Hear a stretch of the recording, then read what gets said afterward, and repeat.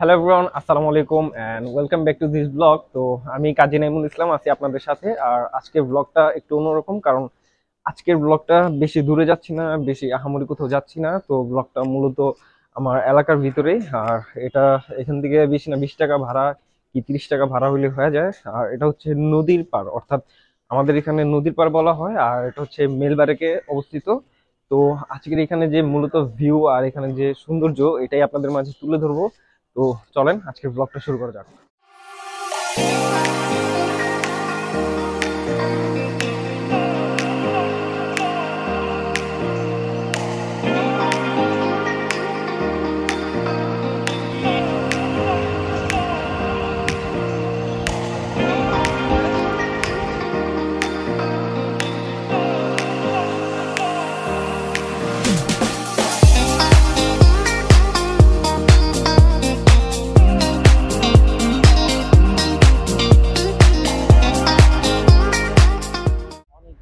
রিক্সা থেকে নামার পর আমি এখন আছি বুড়িগঙ্গা নদীর ঠিক পাশেই গঙ্গাসা মাজারে আর এখানে আসতে আমার সর্বোচ্চ খরচ হয়েছে মাত্র বিশ টাকা রিক্সা করে আর সেটা ভিউ তো আর তখন আপনারা দেখলেন। তো এখানে এলাকার ভিতরে আসার কারণে মাত্র বিশ টাকা খরচ হচ্ছে গ্যান্ডারা থেকে আসতে চাইলে অথবা ফরিদাবাদ কিংবা মেলবারেক থেকে আসলে আপনাদের সর্বোচ্চ খরচ হবে বিশ টাকাই।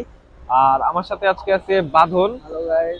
তো ওরা নিয়ে আসছি। সব বন্ধু ব্যস্ত সবার কাজে আর এই কারণে ওরাই নিয়ে আসা হয়েছে আর এখানে ভিউগুলি আপনারা দেখতে থাকেন। আর কেমন লাগতেছে ব্লগটা অবশ্যই আমাকে কমেন্ট করে জানাবেন।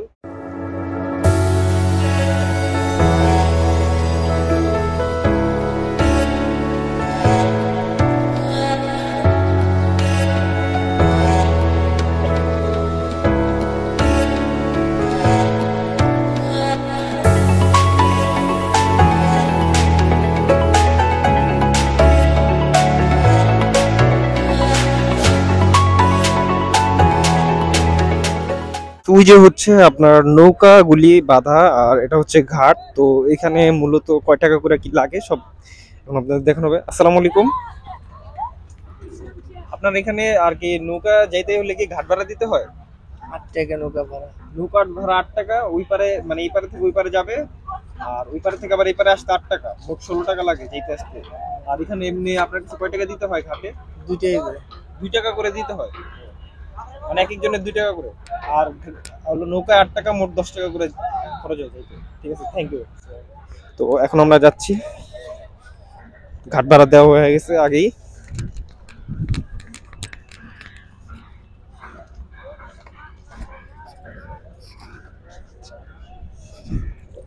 জাস্ট ওয়েদারটা দেখেন জাস্ট ওয়েদারটা একটু দেখেন। এখানে এই যে নৌকাগুলি এসে থামছে। আর কিছু নৌকা যাচ্ছে, আর অবশ্যই নৌকায় ওঠার আগে সতর্ক থাকবেন, কারণ সাঁতার জানতে হবে। মামা, সবার আগে যাইবো কোনটা? এটা? না না, রিজার্ভ ছাড়া। এটা? এটা এখানে জুতা রেখা, তারপরে যে উঠবেন এইভাবে। এই হচ্ছে বাঁধন উঠল, আর আমি এখানে আছি। বসো। Oh.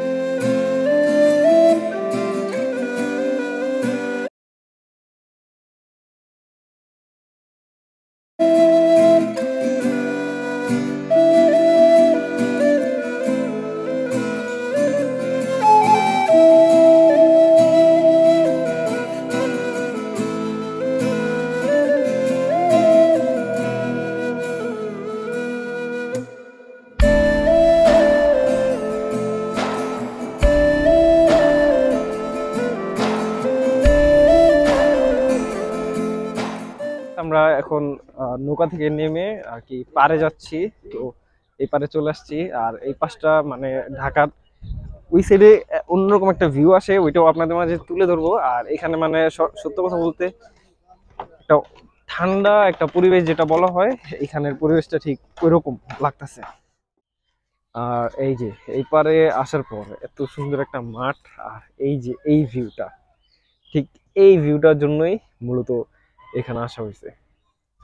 আর বিকেলবেলা সত্যি মানে এই যে মাদ্রাসার ছেলেপেলেরা, ওরা ফুটবল খেলছে, তো ওদের খেলা দেখা মূলত আমার একটু খেলতে মন চেয়েছে ফুটবলটা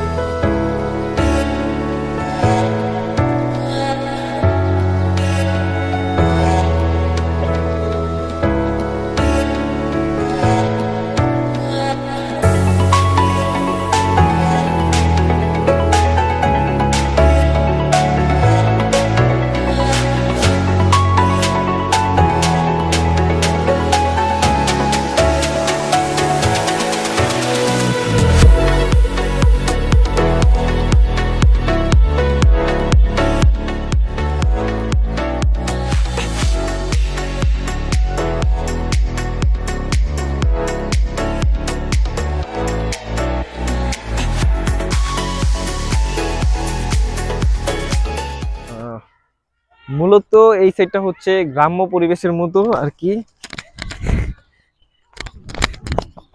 আর কি গ্রামের যে একটা পরিবেশ থাকে, এখানে আসার পর এটা বুঝতে পারতাছি। আর এখানে সত্যি অনেক সুন্দর লাগতাছে। আর চাইলে আপনারা এখানে আইসা জাস্ট বিকালের জন্য একটু ঘুরে দেখে যেতে পারেন, ঠিক কেমন লাগে। এই যে বাচ্চাদের সাথে খেলা, এই যে সুন্দর একটা মনোরম একটা দৃশ্য মানে আর কি এত সুন্দর পরিবেশের সাথে এরকম ভাবে মানে থাকাটা একটু অন্যরকম ঢাকার থেকে মাত্র আট আট ষোলো টাকা খরচ হয়েছে আমার, আর ওইখান থেকে বাসা থেকে চাইলে পাঁচ মিনিট লাগে হাইট আসতে জাস্ট আপনাদের দেখানোর জন্য আমি রিক্সা দিয়ে আসছিলাম। তো এই অল্প কিছু টাকা খরচ করে এত সুন্দর ভিউ আর এত সুন্দর একটা পরিবেশ, হয়তো আমার মতো আপনাদেরকেও মুগ্ধ করবে। তো আশা করি আপনারা এখানে আসবেন, আর আসলে অনেক কিছু দেখতে পারবেন, অনেকভাবে ঘুরতে পারবেন। ওই যে ওই পারে দেখেন ওই যে ঢাকার যে বড় বড় উঁচু উঁচু যে বিল্ডিং গুলিতে আমরা থাকি, ওইটা হচ্ছে সেই বিল্ডিং এই পার থেকে সুন্দরভাবে দেখা যাচ্ছে পুরো ঢাকা, আর এখানে মূলত একটু বালির কাজ চলছে, হয়তো বালি উত্তোলন চলছে এই কারণে এরকম দেখা যাচ্ছে।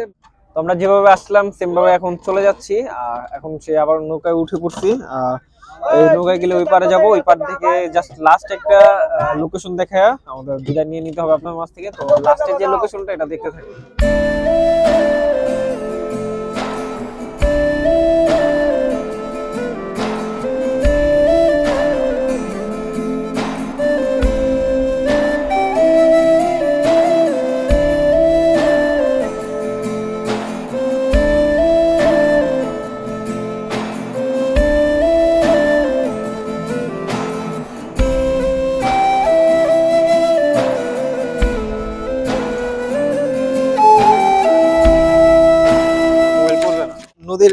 এই পারে চলে আসছি। তো আস্তে আস্তে আপনার সন্ধ্যার আজান দিয়ে দিছে। তো মূলত যেটা দেখাতে চাইছি সেটা হচ্ছে এই জেরে জেটিটা আর কি ওইটা দেখাবো। তো ওইটার উপর থেকে আর কি ভিউটা কেমন আসে, আর মূলত আমরা এখানে আসলে ওইখানেই থাকি।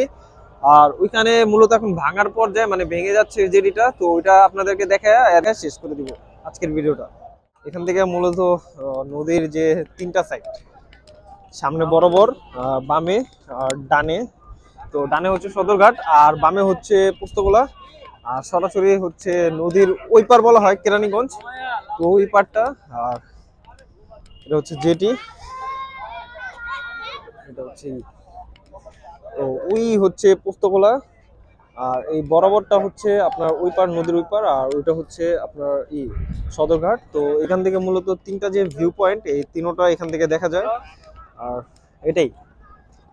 গাইস আমাদের আজকের ভিডিওটা আপনার মাঝে কেমন লাগছে অবশ্যই কমেন্ট করে চাইলে জানিয়ে দিতে পারেন। আর পরবর্তী ভিডিওটি আমাদের সবার আগে পাওয়ার জন্য আমাদের চ্যানেলটি সাবস্ক্রাইব করে পাশে থাকা নোটিফিকেশন বেল আইকনটি বাজিয়ে দিতে পারেন। আর হ্যাঁ অবশ্যই আমাদেরকে সাপোর্ট করতে পারেন আমাদের ব্লগটি লাইক দিয়ে আর ফ্যামিলি মেম্বারকে শেয়ার করে অথবা ফ্রেন্ড সার্কেলকে শেয়ার করে। তো ততদিন পর্যন্ত ভালো থাকবেন, সুস্থ থাকবেন এবং আমার জন্য অবশ্যই দোয়া করবেন যাতে করে আমি আপনাদের মাঝে আরও নতুন নতুন ব্লগ উপহার স্বরূপ দিতে পারি। আসসালামু আলাইকুম।